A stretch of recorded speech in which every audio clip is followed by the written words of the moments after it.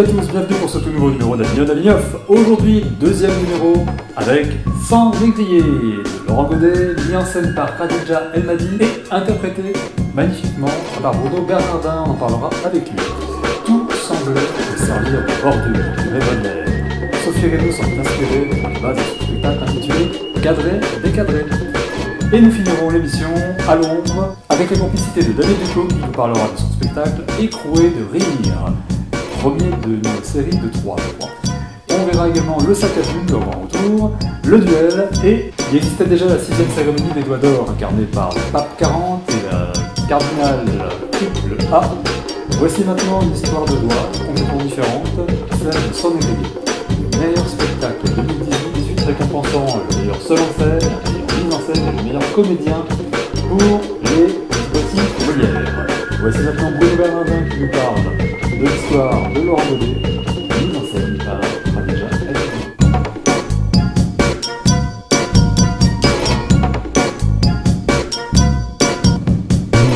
Bruno, comment s'est déroulé ce, ce projet? Je crois que ça part d'une envie déjà qui est la tienne et qui a été en fait euh, un petit peu euh, euh, accouchée, on va dire, par euh, Khadija Elmadi. Euh, Nous travaillons avec Radija depuis une vingtaine d'années. Euh, on a fait beaucoup de projets ensemble et je souhaitais, après cinq ans de direction de théâtre et de, travail de mise en scène surtout, je voulais euh, être euh, redirigé par Radija. Et donc je lui ai demandé, je l'ai sollicité et elle m'a proposé le texte de Laurent Godet et on s'est lancé dans l'aventure. C'est une transposition à, la scène, mais on ne change aucun mot de, de Laurent Godet. Donc euh, on, dit tous les, euh, tout ce qui est dans la nouvelle est redonné sur le plateau. D'accord Alors comment euh, s'est déroulé justement ce, travail? En fait, il y a eu une traversée, on va dire, de trois semaines avec Khadija pour pouvoir mettre en, scène ce- cette œuvre, mais il y a eu toute une, toute une démarche en fait auparavant. On- il y a eu un gros travail de partition euh, euh, musicale, en fait, euh, parce que Laurent Godet, écrit de manière très... pour l'oralité, en fait. Et il a aussi commencé par le théâtre, donc ses textes, même ses romans, sont un peu empruntés de ça. Et Radija est quand même une grosse formation de conteuse et de musicienne. Et donc, euh, nous avons vraiment pris le texte comme une partition et euh, elle me l'a décortiqué, nous l'avons décortiqué ensemble. Et après, en fin de compte, on a pu, mais de manière assez rapide aussi, euh, l'installer sur le plateau. Voilà. Et donc ça se décompose un petit peu comme une, comme une montée en crescendo, hein, si je comprends bien. Oui, c'est un aveu que le personnage donne au lecteur ou pour nous, aux spectateurs. Donc, il est fait de beaucoup de, flashbacks, euh, d'introspection, et, euh, donc, euh, nous, il y a cette montée vers la folie, puisque en fait, il, y a un moment donné, le texte tombe dans, le fantastique. Mais il y a toujours quand même ces allers-retours, donc on- il y a on a des, re- des- des retours à, la, conscience entre l'action qui se déroule au moment, au moment euh, et, et voilà qu'il raconte, mais que, le- que moi je suis en train de vivre, et, euh, et des, voilà, des sortes de euh, prises de conscience du personnage qui sont données euh, directement au public euh, lors de la représentation. Alors donc pour, pour expliquer un petit peu, donc euh, c'est l'histoire donc de Bressac qui est un capitaine Oui. Qui meurt donc et euh, c'est son commandant donc qui prend la relève. Voilà, ils navire. sont euh, sur l'île de Gorée. Euh, et donc ils doivent juste finir le chargement de ce qu'on appelait à l'époque le bois d'ébène, donc des futurs esclaves doivent normalement prendre le chemin vers l'Amérique. Et voilà, Bressac, le, le- le capitaine meurt de la fièvre, comme beaucoup à l'époque. Et euh, donc le personnage que j'interprète, qui n'a pas de nom, euh, ce euh, cas de conscience et euh, au lieu de respecter l'usage en cours euh, pour les marins qui est de jeter le corps à la mer. Ils décident de revenir à Saint-Malo pour déposer le corps à la famille, à la veuve. Et, euh, en fait, bah, c'est le début, à l'arrivée de Saint-Malo, c'est le début de sa chute. Voilà. Et puis, il y a aussi sa prise de conscience quant à ce que pouvait représenter aussi la vie de ses esclaves pendant le voyage et, au-delà encore. Ça marque en fait le début d'une espèce de, chemin comme ça en fait, qui, va marquer en fait les, traces d'une espèce de, superstition macabre euh, qui va être un petit peu le, début de sa fin. Euh, il va voir en fait tout un tas de choses en fait qui vont bah, euh, se dire que bah, il fallait peut-être pas justement rompre cette, tradition là en fait maritime.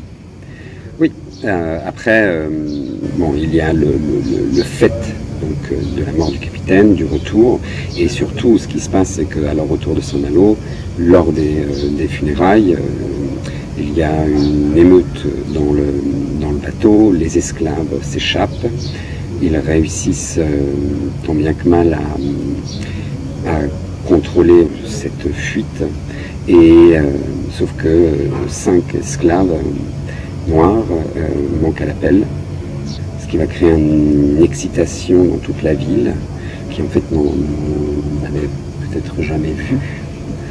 Et euh, donc ils vont tous partir à, la chasse à l'homme.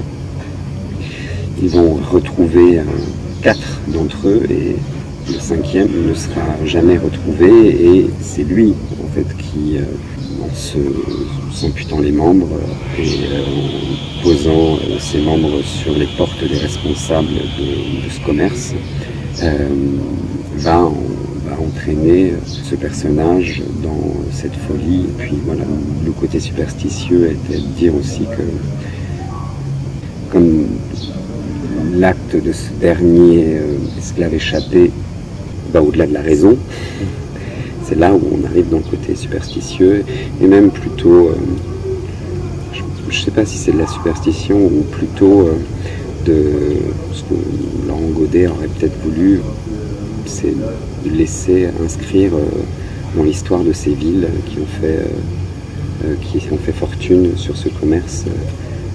Voilà l'empreinte des gens et tous ces, tous ces peuples aussi qui ont, été vendus et, et donc ce sur quoi en fait ces commerçants ont fait leur argent. Donc c'est pour moi c'est par le biais de la superstition dans notre spectacle, mais c'est une métaphore. Ok, en tout cas ce qui est intéressant c'est toute la montée en tension justement qui est vraiment euh, bah, très très prenante, hein. même euh, dans le public en fait, on ressent vraiment les choses en fait euh, vraiment à cœur. Et il y a aussi une espèce de, résonance en fait avec les, ce qu'on vit un peu en ce moment, ou ce qu'on veut nous faire vivre en tout cas avec les migrants. Il y a une espèce de, rapport comme ça qui, peut être fait, mais c'est surtout en fait une espèce d'implication en fait à la folie qu'on a en fait en face de nous et c'est aussi à ça qu'il faut se, référer. Oui, parce que ce sont des actes qui sont inhumains. Oui. Donc c'est, ça paraît presque logique qu'une personne qui prend conscience de la responsabilité de ses actes et des faits euh, qui en découlent sombre dans la folie. C'est-à-dire que si voilà, il, ils ne se rendaient pas compte à l'époque que ces esclaves étaient des êtres humains, qu'ils pouvaient parler, qu'ils avaient un corps, qu'ils avaient une intelligence. Donc euh, ils, se, rendent compte de tout ça et du sort en fin de compte qu'ils leur infligeaient. Et, euh, évidemment qu'ils sont dans la folie. Cadré, décadré, cadré, décadré, cadré. Décadré. Dans Cadré décadré, Sophie Renaud nous emmène dans un univers à part entière, celui de ses cadres,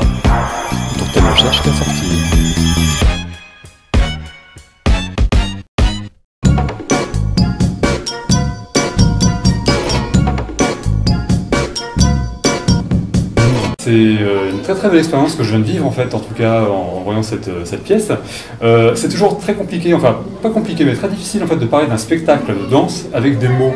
Parce qu'on ne sait pas trop comment le définir justement, et c'est un petit peu le thème justement de ce spectacle, la définition, à partir d'où ça, ça, commence en fait, le fait de vouloir se, se cadrer dans quelque chose? moi j'avais envie de raconter une histoire, un conte poétique en fait au départ, avec une évolution, une jeune femme qui cherche à se définir, à définir ses contours, qui se cherche et qui tombe sur des tableaux, qui les découvre, qui s'amuse avec ces tableaux. Et euh, petit à petit, euh, elle se rend compte qu'en étant derrière ces tableaux, elle véhicule des images et elle peut peut-être se servir de ces images pour manipuler euh, les gens ou manipuler son image elle-même. Et donc elle, commence à rentrer dans un processus où elle part dans un gros délire. Et puis jusqu'au moment où en fait elle, elle est complètement piégée et puis euh, complètement enfermée là-dedans et je ne dévoile pas la fin. Mhm. Voilà. Prisonnière de son image. Euh, voilà, Et euh, donc il y a, j'imagine, bon, beaucoup de parts d'impro en fait qui partent de ça, mais aussi beaucoup d'impro pendant le spectacle apparemment. Alors, au départ, c'est de l'improvisation. Travail de studio, c'est de l'improvisation. Comme j'ai des cadres, j'ai des accessoires, je développe une écriture avec ces accessoires, donc il me faut des, grands temps de recherche en fait. Mhm. Et ensuite, euh, je construis, j'élabore petit à petit le déroulement de mon spectacle, euh, avec des points euh, clés, on va dire, des moments clés. Et puis ensuite, j'ai volontairement voulu garder des moments très écrits et des moments très improvisés, mmh. pour me laisser libre dans ma gestuelle, pour me laisser libre par rapport à ce que je sens du moment. Euh, voilà, j'avais pas envie d'écrire parce que je savais que j'allais m'enfermer dans cette écriture-là. Mm. Donc, euh, bah, par exemple, euh, il y, a des parties vraiment, des grosses parties qui sont très improvisées.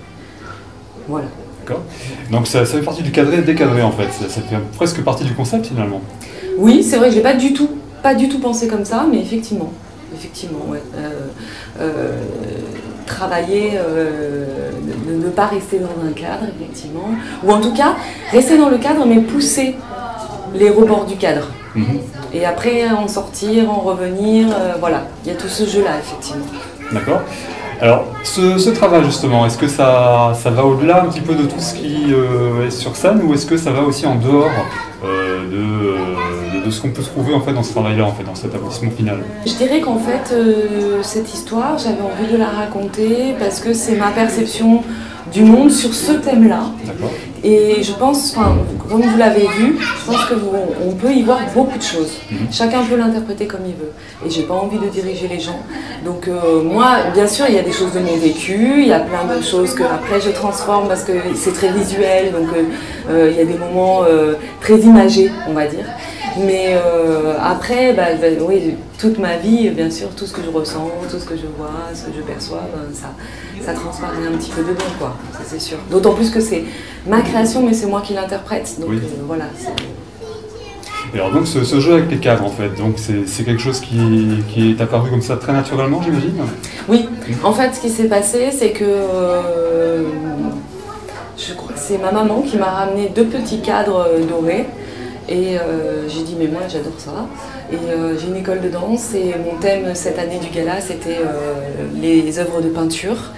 Et donc du coup j'ai commencé à, m'amuser avec ces cadres en me disant je vais peut-être les utiliser pour mes élèves. Et en fait je me suis dit mais non c'est pour moi que je veux les utiliser. Et donc comme deux petits cadres ça ne me suffisait pas, j'en ai fait un à ma, mesure, hein, à ma dimension. Mais voilà, et comme j'aime beaucoup ça, c'est vraiment une spécificité chez moi, c'est que je travaille beaucoup avec les accessoires. N'importe quoi, tout ce qui me vient sous la main, je peux travailler avec, je peux créer avec. Donc euh, du coup, bah là, voilà, c'est vrai que c'est infini en fait de travailler avec les accessoires et avec les cadres. Là, j'ai trié ce que je voulais mettre, mais il y a plein de choses que j'aurais pu faire encore. Et d'ailleurs, de toute façon, dans la rue, comme en ce moment on danse dans la rue euh, pour présenter les spectacles, ben, justement, ben, je, fais des impros avec le cadre et je fais des choses que je ne fais pas dans le spectacle. Je trouve des nouvelles choses. Ça, c'est chouette. Ça, c'est clair. Et donc, le, truc, c'est que, euh, en plus, les cadres, ils sont pile poil à la taille, en fait. C'est peut-être pas fait exprès, mais. C'est pas du tout fait exprès. C'est pas du tout fait exprès. C'était vraiment, ils sont arrivés et c'est moi qui me suis adaptée à eux, mm. on va dire. Il n'y a que le grand qui a été construit parce que j'avais demandé des dimensions spécifiques. Mais euh, les petits, euh, non, non, ils étaient vraiment. C'était vraiment des cadres avec des tableaux à l'intérieur à la base. Donc voilà. Mm. C'est moi qui ai travaillé dessus. Ok. Mais en tout cas, c'est une super bonne idée. Euh, très très belle, euh, un très très beau développement en tout cas en- pendant tout le spectacle. En fait, on se laisse emporter vraiment du début jusqu'à la fin. Et donc euh, après, peut-être une tournée par la suite. Oui, il faut une suite, bien sûr. Va y avoir, va y Il faut avoir. une suite, ouais, ouais. Et on va s'y atteler. Et puis, c'est vrai que voilà, c'est comme en fait, je, je l'ai créé en janvier. Là, oui.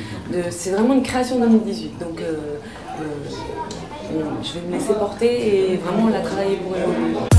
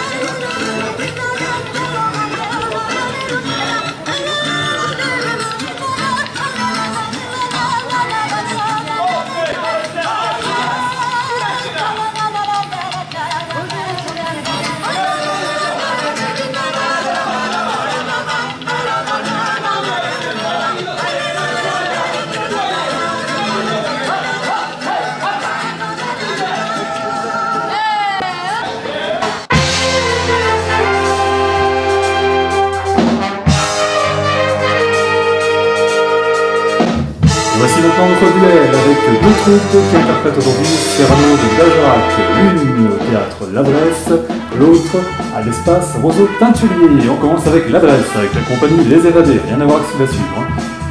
Qui joue à 16h05 Cyrano de Bergerac, d'après Edmond Rostand avec le texte d'Hercule Sabinien de Cyrano de Bergerac, mis en scène et interprété par Sébastien Jégu-Bouillant, ainsi que Ronan Bassikova, Anthony Ponzio, Anna Elcueil et Blandine Rottier.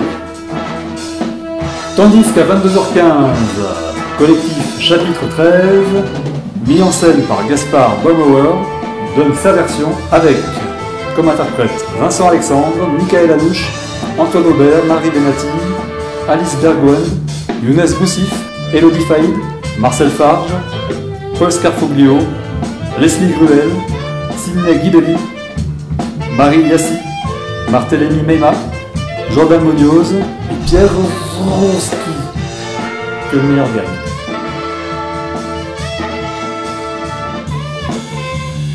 L'histoire qui suit maintenant est réelle.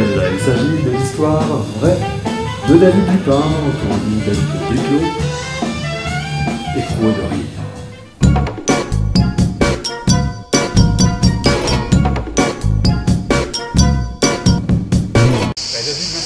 Aussi à l'ombre. Merci, merci de me recevoir. Et à l'ombre, ça fait du bien, parce que c'est vrai que ça cogne, ça tape. C'est clair. Bah, l'ombre, tu, tu connais parce que tu as passé en fait 10 ans en prison. Exactement, ouais, 10 ans, en plusieurs fois, mais c'est vrai, 10 ans en tout. De mineur à majeur, j'ai fait 2 ans, ensuite j'ai fait 5 ans pour avoir creusé un tunnel sur la banque et m'être évadé. Ensuite j'ai refait 2 ans euh, dans le sud de la France, où là ça cognait encore. Et ensuite la dernière peine il y a 6 ans euh, à, à Fresnes, à la maison d'arrêt de Fresnes. Euh, 10 ans en tout. Bac plus 10, euh, Bac plus 10 de la rue, de la prison, enfin de la rue, même bac, bac plus euh, 25, parce que j'ai voilà, connu la rue depuis tout jeune, depuis tout gamin. Et voilà, je, bon, voilà, j'ai eu le de la rue, j'ai les Gavroches d'après-guerre, on nous appelait, hein, les années 70, 80, 90, tout ça, c'est, voilà, on était Gavroches, on était, on était pauvres, c'est pas une excuse, mais c'est vrai qu'on était trop pauvres, et puis ben, on, on a choisi la mauvaise voie, et on, on est parti dans la délinquance. euh, donc voilà. C'est la seule qui qui s'est à toi à ce moment-là, revenu après par la suite. euh, Avec le temps maintenant, je, je reconnais que en ayant discuté avec d'autres personnes, j'ai même vu dans mon quartier des mecs qui étaient aussi pauvres que moi et qui ont choisi la voie honnête. En fait, ça se passe, c'est peut-être comme un destin. C'est un destin, c'est surtout une question avec euh, la mentalité que tu as. Moi, j'avais une mentalité un peu de. Voilà, extrémiste, voilà, j'étais. Euh, j'étais contre l'État, donc je voyais, je voyais nos, pères boire l'alcool vendu par l'État, donc euh, ah, voilà, un peu de mentalité anarchiste et tout. Et donc voilà, moi je pensais pouvoir m'en sortir que par la cambriole, le vol et tout. Et, avec le recul maintenant, je me dis que bah, j'aurais pu m'en sortir aussi bien en étant honnête, quoi, comme d'autres qui ont été pauvres et qui s'en sont, sont, sortis en étant honnêtes. Mais il n'est jamais trop tard pour comprendre. Et je pense que j'ai compris au bon moment. Et maintenant, je suis en train de suivre une, voie beaucoup, voilà, beaucoup plus honnête, beaucoup plus clean, plus stable. Et surtout, j'ai une passion que, j'ai toujours adorée, c'est le théâtre et le cinéma. Et donc je fonce dans cette passion. Voilà, pour me dire toujours, si j'avais un message à donner aux jeunes, dans la vie, il faut réfléchir, euh, se poser la question de ce qu'on a envie de faire, vraiment, et, le, faire, foncer pour le faire. C'est dur, mais il faut, celui qui a le, courage, la volonté, le talent et tout, ben, voilà, rien n'est impossible, on peut. Il faut, juste le, le faire. Exactement. Alors justement, euh, donc on en parlait, ta passion, le théâtre. Tu as écrit en fait trois spectacles pendant euh, ces années en fait sombres, on dire. Euh, qu'est-ce qui t'a inspiré justement en fait de devoir justement remonter en fait avec l'écriture ben, en fait, le, départ, ça a été pendant quand je me suis attrapé pour, sur ce tunnel il y a 20 ans. On avait creusé un tunnel dans les égouts jusqu'à une banque. Et donc moi, je me suis évadé. Et pendant, pendant ma garde à vue, déjà, là, je savais que je partais pour le paquet parce que j'étais déjà très connu. J'avais déjà fait deux ans de peine. Et je savais que là, voilà, ça allait être chaud pour moi. Donc, euh, je me disais, c'est dommage parce que je me sentais pas pourri dans l'âme, quoi, et, pas irrécupérable. Et pourtant, je savais que voilà, j'allais être condamné très lourdement. Et donc, je me suis dit, si je m'en sors un jour, j'essaierai de prouver que je suis, pas, suis pas foutu, que je suis pas irrécupérable et que je peux faire quelque chose de bien de ma vie. Et je me disais, euh, soit écrire un livre pour essayer de faire comprendre aux gens pourquoi on en arrive là. Et je me disais, écrire un livre, euh, euh, ça a été déjà fait, et même très bien fait. Mais un énième bandit qui écrit un livre, ils vont se dire, bon, on en a marre, on sait, il a eu des preuves de délinquance, tout jeune, la pauvreté et tout, puis la prison, et puis il écrit son livre. Je voulais arriver d'une façon originale. Donc pendant cette garde à vue, je cherchais, je me disais, ah, et puis j'avais toujours cette façon de raconter une histoire avec humour et tout ça. et donc pendant ma cavale, quand je me suis évadé, réellement évadé, pendant ma carrière, on me demandait de raconter mon évasion. Je racontais mon évasion toujours avec humour et dérision, sans violence, sans rien, elle s'est passée cette évasion. Et les gens rigolaient tout le temps et me demandaient la suite, la suite. Et là, je me disais, il y a quelque chose à faire avec ça. Et arrivé en prison, quand je me suis retrouvé en prison, dans les promenades, j'ai animé les promenades en, racontant, pareil, j'étais connu comme Loudan, raconte ton évasion, raconte et la suite, et la suite. Et je faisais rire tout le monde, jusqu'à ce qu'on marque dans la promenade, la promenade du Comedy Club et tout. Tout le monde trouvait que c'était génial. Et là, je me suis dit, allez, c'en est il faut que je fasse comme ça. Donc j'écrivais en cellule, j'écrivais mes spectacles, j'ai écrit trois spectacles, hein, Écrou et le rire, le numéro 1, le numéro 2 et le numéro 3. Là je joue le numéro 1, j'attends de faire connaître bien le 1 pour envoyer le 2 ensuite et le 3. Et, euh, mais je ne me suis pas arrêté que là. J'ai aussi écrit euh, euh, une pièce de théâtre, une série, une comédie musicale. Ce que je voulais pas, si ça marche, je ne veux pas qu'on me catalogue que dans celui qui raconte l'histoire de prison. Donc je me suis dit, voilà, il faut sortir de ça. Donc une pièce de théâtre qui ne raconte pas que les prisons. Avec Tommy Dobby, on vient, on vient de finir l'écriture de, deux pièces aussi, Mon papa, moi, est un gangster en pièce de théâtre. Et un jour j'irai à Détroit, qu'on est en train de monter au théâtre du gymnase là. Donc, euh, et puis donc de côté ce que j'avais créé en prison, comme un C'est trop tard Voilà. Et donc j'ai tout ça de côté. Là j'essaie de faire avec les poésies et j'ai tout ça dans, et voilà, pour moi, c'est une évidence, il faut s'appeler, il faut, faire connaître ce, spectacle et puis il y a tout le reste derrière. En tout cas, un beau parcours.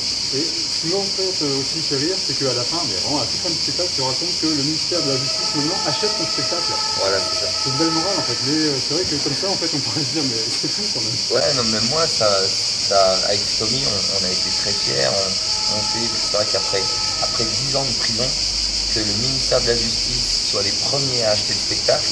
Alors pour la protection judiciaire de la jeunesse, la PJJ, pour euh, dans les prisons, la maison d'arrêt la maison d'arrêt de Bordeaux, là on en pour, pour parler d'autres prisons, la prison de Caen, tout ça.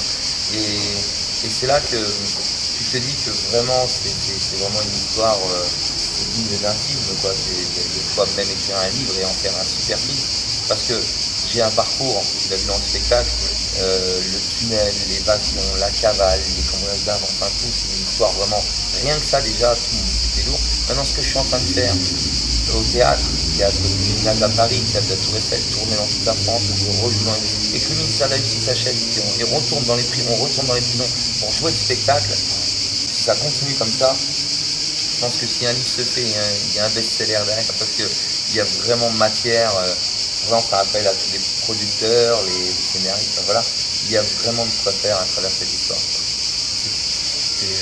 Et euh, donc il y a trois personnes que tu fait inviter à l'Olympia et je suis persuadé que ce jour euh, seront en fait euh, étonnés peut-être de, voir en fait sur scène. Et ils le savent déjà en plus. Oui, ils en ont entendu parler. Et, euh, voilà, sous forme de boutade, ils les invitent, mais en fait ça, me ferait très plaisir qu'ils viennent parce que c'est les policiers qui, étaient là chargés de ma garde quand je me suis évadé. Parce que bah, c'est pour leur montrer que bon le temps est passé, on peut en rire, il n'y a pas eu de violence, il y a voilà, euh, sur le coup ils ont dû faire remonter un peu les bretelles, j'en conçois, je conçois, c'est normal, euh, voilà, mais ce serait bien qu'ils viennent découvrir le spectacle et pour on montre qu'on n'est pas irrécupérable dans la vie et qu'il n'y a pas d'animosité envers la police. Moi, au théâtre du gymnase et même ici, il y a des policiers qui viennent, on rigole ensemble, on passe un message ensemble, des surveillants de prison viennent, il y en a encore un hier soir, il était, vraiment trop content du spectacle, même parlé à sa détention, à sa chef de détention pour que le spectacle soit joué dans sa prison. Donc c'est vrai que voilà, c'est un spectacle qui je reviens aux policiers, qui est fait pour rassembler. On est là pour, pour dire voilà, ok, il y a eu des bêtises, mais on n'est pas irrécupérable et c'est ensemble qu'on peut faire quelque chose, envoyer un message à toute cette jeunesse qui se gâche, à tous ces policiers qui, ont été agressés, qui ont, voilà, et les jeunes qui ont été agressés aussi. Dans tous les corps de métier, il y a des bons et des méchants, et sans la police, eh ben, on ne serait pas bien en France, il faut, des policiers. Donc voilà, c'est sans rancune, sans rancune, venez en rire et venez construire quelque chose de bien avec nous pour qu'on puisse changer euh, la donne, parce que beaucoup pensent que dans les quartiers, il n'y a que des, irrécupérables, des, montrer que voilà, il y, a, un beau travail à faire pour, améliorer ce monde et vivre tous ensemble. Alors je suis pas utopiste, je suis pas en train de faire mon dessin animé Walt Disney. Je sais que c'est très dur, autant pour les policiers que pour les jeunes, que comme j'ai dit, dans, les, dans ce corps de métier, tu as des imbéciles qui gâchent le, bon travail que certains policiers font. Les policiers font le bon travail et voilà. Et donc c'est ensemble qu'on peut apporter ce message et, faire quelque chose de bien. donc, pour ça, tu as monté ton association, qui s'appelle Le Monde Voilà, on a monté une association, on a créé une association qui est en train d'être reconnue comme d'utilité sociale et publique. Euh, cette association, c'est pour aller dans les quartiers de France pour la prévention euh, et, pour la réinsertion dans les prisons. Lutter contre l'oisiveté en prison, apporter des ateliers euh, théâtrales en prison, écriture, voilà, montrer qu'on est en prison, mais pendant ce temps, ce temps n'est pas, inutile. On peut construire et faire en sorte que préparer la sortie pour, euh, dans des métiers comme le théâtre, comme le cinéma, comme la chanson, comme, la peinture, il y a tellement de métiers plein, et voilà, et pas forcément sur les planches, derrière la caméra, euh, dans les coulisses, derrière les, projecteurs. voilà, et, donc on, veut apporter euh, vraiment plein de choses dans les prisons, dans les quartiers, parce que il ne faut pas penser que faut penser aussi euh, dans les quartiers, faire de la prévention avant même qu'ils aillent en prison. Et moi, ce qui me tient à cœur aussi, c'est d'aller dans les théâtres où il n'est pas coutume de monter ce genre de pièces, de spectacles, où, alors je vais citer des exemples, c'est bête ce que je vais dire, hein, c'est pas que ces exemples-là, mais dans les théâtres où, on a l'habitude de jouer du Molière, de la barre, du truc, qui sont très très bien et que j'adore, hein. mais venir dans, ces théâtres-là où les gens sont, cantonnés à cause des programmateurs euh, à ce genre de pièces et ne, découvrent pas autre chose. Et donc j'aimerais être programmé dans ces beaux théâtres de France pour l'apporter ce, spectacle, qui une forme de pièce de théâtre avec du vrai à 100%, pour leur faire découvrir ce milieu qu'ils ne connaissent pas, avec de l'humour, de la dérision, mais beaucoup de messages. Et bien voilà, c'est terminé pour ce On se retrouve demain avec Banco Deco, Laura Elko et le commissaire du Liban. Passez une bonne journée et